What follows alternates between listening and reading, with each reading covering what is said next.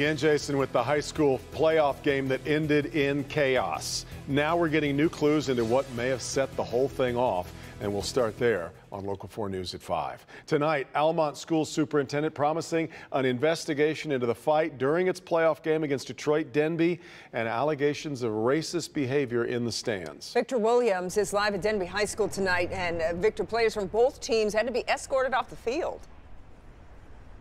Yes, absolutely. Things got very heated out there on the gridiron, but both sides agree that what happened at this football game was very unnecessary. You got adults, you know, racial slurs, spitting, this, that, and the other. It, it, it's sad. Denby High football parent Patrick McKnight says it's an absolute shame what took place following the semifinals of the state championship between Denby and Almont High.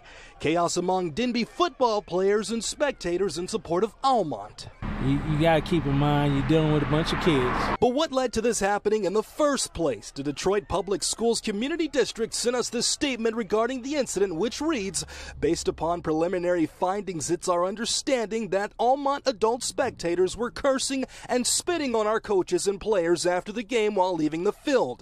But Almont Community School District Superintendent Dr. William Calmer, who was there, says that's not the case, at least from his perspective. While there was there were jeers and taunts, um, I did not necessarily hear anything that I would consider to be uh, racial epithets or racial slurs. I'm not saying they didn't happen. I'm just saying that we don't have evidence of it. Dr. Calmer and both the principal as well as the athletic director all agree that there were some agitators among the Almont crowd, but if any are proven to have used racial slurs, they'll face major consequences. If they're members of our community that, that poured gasoline on the fire, so to speak, um, we're working to identify those and if we find out who they are, they're, they're going to be banned from, from our campus in any event.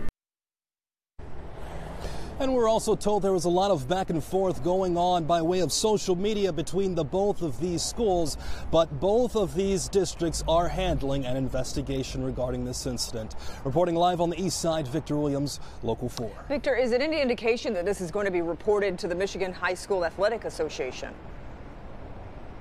Well, I'm hearing that the Detroit Public Schools Community District, they are making records of all of this, and they're going to be sending all of that on to the Athletic Association. Yeah.